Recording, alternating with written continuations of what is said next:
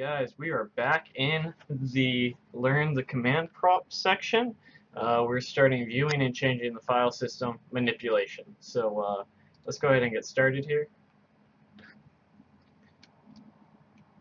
So let's see, um, just a quick reminder, ls will tell us what's in our current directory.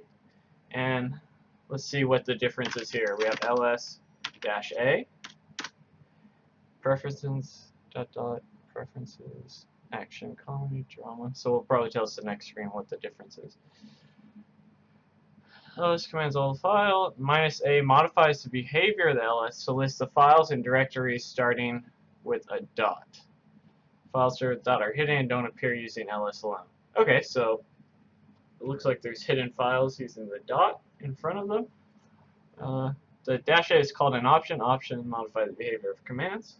Okay, so it looks like there's an ls-l, and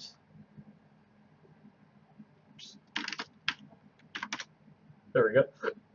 Uh, this tells us back in my uh, FTP slash MySQL days, I, I don't remember everything, but some this basically tells us what we can do with each file, I believe, and it'll, it'll go into details here. So the dash L lists files and directories as a table with seven columns separated by spaces. And you can read through all that if you want. Um, you probably won't use it more than once. You'll probably look it up if you need to. Um, for me, I had to change certain parameters when I FTP stuff up so that it would work properly um, through the command line anyhow. So let's try out another option for the ls. Navigate to ls comedy oops, cd uh, com cd comedy. Alright, so we're going to change the directory to comedy, and then we're going to type ls dash alt, and I'm not sure, we'll see what's going on here. So, uh, Alright, so dash alt lists all content in long format, including the ones that are hidden. So let's let's move on to copying and moving and removing files from the directory. So we want to change the directory to drama slash biopic slash. Uh, next we want to cp Frida, I believe this is uh, copy, if I remember correctly, text, and then space link uh, lincoln.txt cannot stat for no such file. Oh, I put text. Alright, so cp frida.txt and lincoln.txt. Alright, let's see what this does next.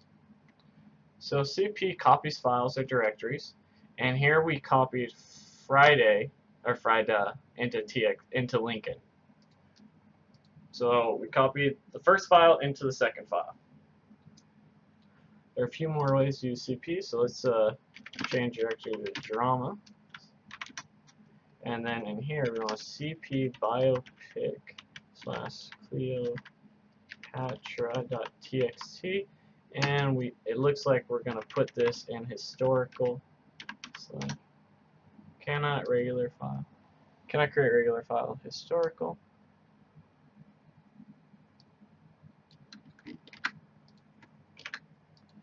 Alright. Cp bio fit slash leo txt space historical Alright, navigate the, to the historical directory, list all files and directories. Should see a new file. So ls, I believe, should list everything. Uh, ls-alt. Uh, let's see here. Navigate to the historical directory. Alright, change directory to historical. There we go. And here's one more CP, so we want CP navigate up one directory. So we want to change directory to drama. And then, oop, there's no, so let's see what directories there are.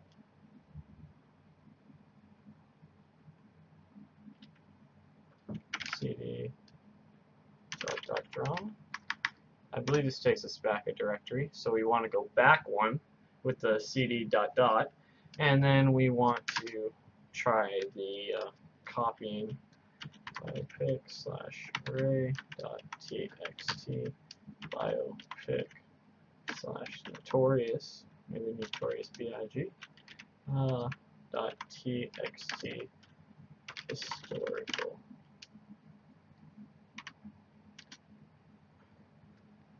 Nice. Um, let's see what this last command does. To copy a file into the directory, to copy multiple files.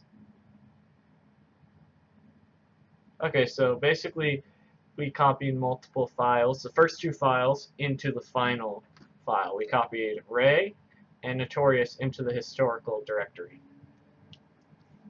Alright, so I want to change directory to comedy slash.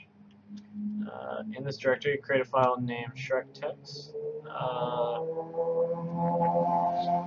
I don't remember what the direct was. So let's see here. Uh, sorry about the uh, breakup in the video here. I had to turn my car alarm off. A motorcycle set it off. Uh, but anyhow, so we want to change the directory to comedy slash and then we want to create a new file in this directory. I believe this should do it touchrec.txt and that creates it. Then we want to type cp star satire slash and this should get everything. Or no, it should emit everything. There we go. So we're emitting satire. Looks like navigate to satire, list all files. So we want to say L ls. Uh, ls dash alt. No, uh, ls dash a. Now we get to the sat. Oh, change directory satire. Here's another way to use the CP. So action. So we want to cd action. So you can see right now we're just oops, cd action. Where's our where's our action? So cd dot dot. Now let's see what we got here. cd dot dot. Uh, this. Uh, there's our action. So now we can uh, cd to action.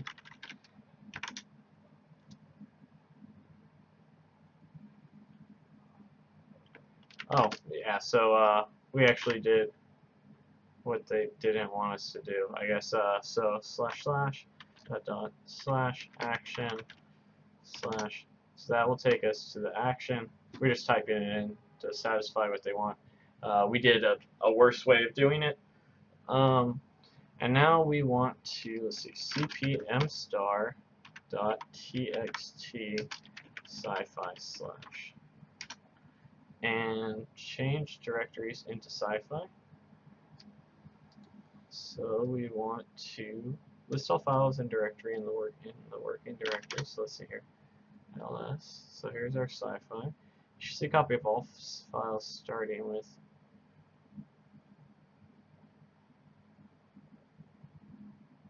So we want to cd into sci-fi.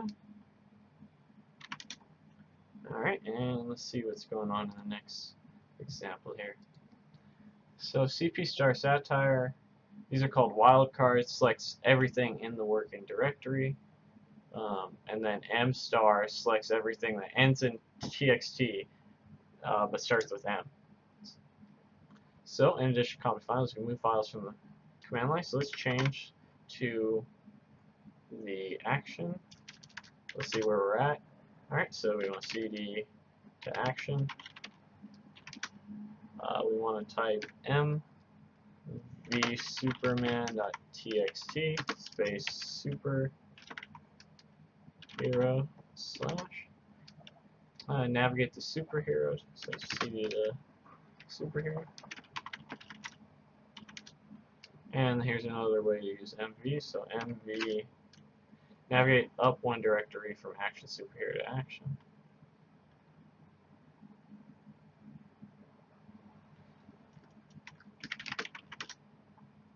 Uh, then MV Wonder Woman dot txt to superhero slash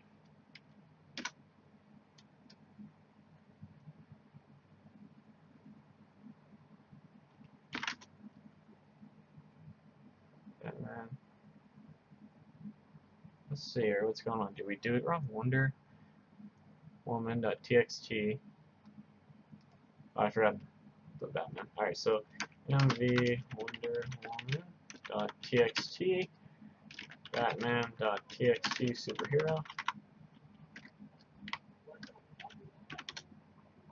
It says there's no such file or directory, and here's one more way. So let's see here. mv batman.txt spider-man.txt. Let's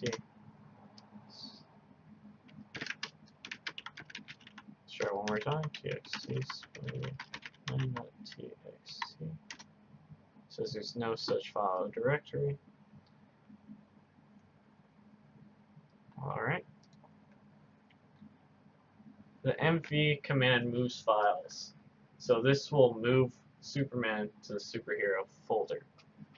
Cool. So let's change the directory to comedy slash slapstick. So um, cd comedy slash six. So we're there. We are going to rm water boy.txt. From here we're going to list all the files. Now we can see that Waterboy is no longer in there, only Zoolander. Now we want to navigate up one directory, so cd dot dot and rm dash r slapstick. Let's see what this does. Now let's list all the directories. So we have Satire, Shrek, The Office. Let's see what the rm command does. So the rm command deletes files and directories. The dash R is a modifies the behavior of the RM command. The minus R stands for recursive and is used to delete a directory and all of its child directories. Wow. So uh, if you're doing that, you really are deleting some uh, real shit. So it deletes it permanently, and there is no, there isn't an undo delete. So basically, don't fuck around with RM is what it's saying here. So we finished our second section of the command line. Um, pretty cool stuff. Uh, in our next section, oops.